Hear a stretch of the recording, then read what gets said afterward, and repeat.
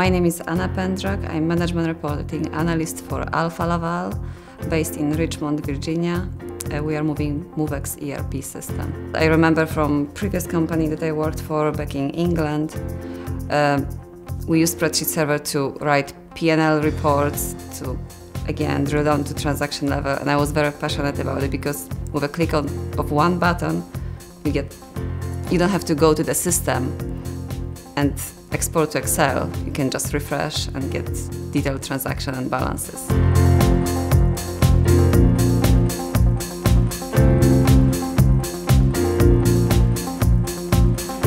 Currently mainly to refresh balances. So if I uh, uh, prepare account reconciliation, I can see balances straight away. I don't have to go to the system.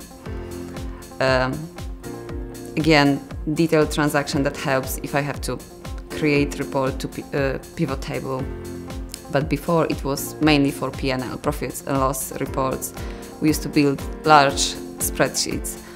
Again, with a click of one button, you could see P&L by service areas, so you can prepare for total company, or you can see it on detailed level.